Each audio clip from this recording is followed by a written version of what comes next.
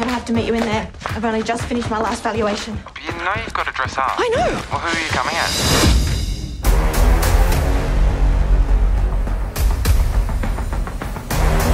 The Office Clown Award goes to Raylene Red Delaney. Tumble out of bed and I stumble to the kitchen. You don't really fit in, in any office, Fred. You're a mess. Yawn and stretch and try to come to life. You're fired. You can't fire me because I quit. You oh, got fired and quit, but in the same day. Well, that's new. What are you going to do? How long have you been performing Dolly? No, tonight was just an unfortunate mistake. We're casting for a new Dolly at the moment. Let's see what you're made of. She's bright, she's bubbly, nipples to the sky.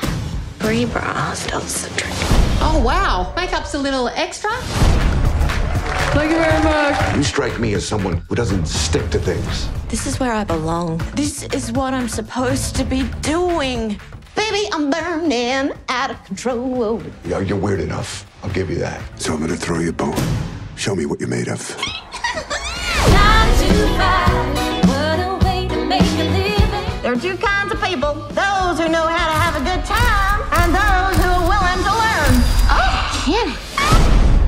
You're off on some wild, sequined goose chase that isn't going to end well. I'm fighting too, constantly. What? I said starting. Oh, God. Mum, I'm not an idiot, and it will end well if it kills me, Dolly or dead.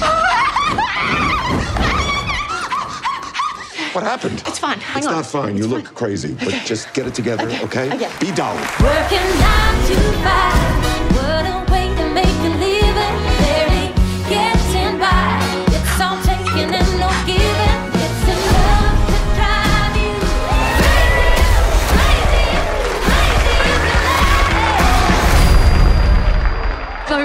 Thank you very much, Thank you very much about that. Thank you, Miss Dolly Parton here. Thank you very much. Has he left the building yet?